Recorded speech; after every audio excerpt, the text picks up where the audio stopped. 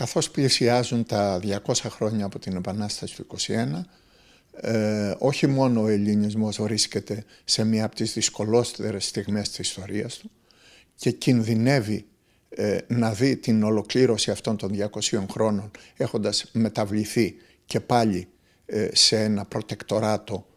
και ελεγχόμενο από τον τουρκικό νεοοθωμανισμό κράτος ή μάλλον από τον άξονα Γερμανίας-Τουρκίας αλλά την ίδια στιγμή γίνεται και ένας πόλεμος ενάντια στην ίδια την ιστορική μνήμη. Ξέρουμε πολύ καλά πως τα τελευταία χρόνια αναπτύχθηκαν ε, σχολές υποτιθέμενης ελληνικής ιστορίας που βασικό στόχο έχουν να καταρρύψουν την σημασία ε, της Επανάστασης ως ε, μιας έκφρασης του ελληνισμού που επιτέλους ε, ολοκλήρωσε ε, τις προσπάθειες για εθνική απελευθέρωση. Προσπάθειες που αρχίζουν, ε, δεν σταματάνε καθόλου μάλλον σε όλη τη διάρκεια της τουρκοκρατίας. Έχουμε το Διονύσιο φιλόσοφο το 1610 που καταλαμβάνει τα Ιωάννινα έτσι, και εξοντώνεται με τρόπο φρικτό από τους Οθωμανούς. Ε, από τους ε, συναγωνιστές του θα ξεκινήσει ε, η εγκατάσταση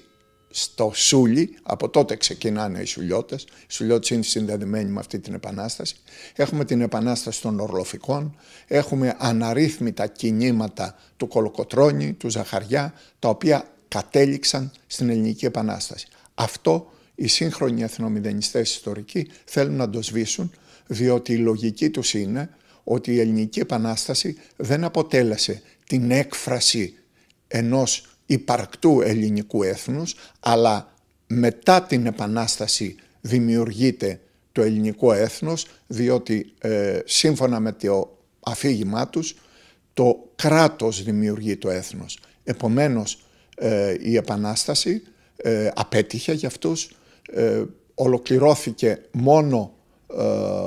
μέσω της παρέμβασης των ξένων και επομένως η Ελλάδα είναι ένα δημιούργημα των ξένων δυνάμεων, των ξένων προστατηδών δυνάμεων της Αγγλίας, της Ρωσίας και της Γαλλίας. Γι' αυτό εξάλλου και τα πρώτα κόμματα της χώρας ε, λέγονταν αγγλικό, ε, γαλλικό και ρωσικό. Αυτή η αντίληψη η οποία υποτιμά όλους τους αγώνες, τους χιλιάδες, εκατοντάδες χιλιάδες ανθρώπων οι οποίοι πέθαναν μέχρι να φτάσουμε στην Επανάσταση, όχι μόνο της κλεφτοριάς, όχι μόνο του ενός εκατομμυρίων ε, που ε, μάζεψε το πεδομάζωμα και έγιναν γενίτσαροι, όχι μόνο των,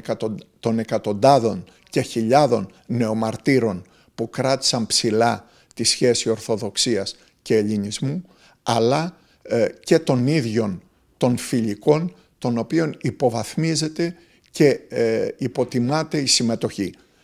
Αποσιωπώντας τι, ότι η φιλική εταιρεία μετά το 1818 ε, έχει την έδρα της στην Κωνσταντινούπολη και το ότι σε αυτή συμμετέχουν όλες οι τάξεις και οι κατηγορίες του ελληνισμού. Όλος ο ελληνισμός, έτσι ε, ξέρουμε ότι στη φιλική εταιρεία συμμετείχαν εκατοντάδες κληρικοί, ξέρουμε ότι εκατοντάδες κληρικοί έχασαν τη ζωή τους, ξέρουμε ότι και ο ίδιος ο Γρηγόριος ο Πέμπτος, ο οποίος γνώριζε την ύπαρξη φιλικής εταιρείας και την ενίσχυε διότι οι γραμματείς του όλοι ήταν μέλη της φιλικής εταιρείας, ε, γνώρισε μαρτυρικό θάνατο.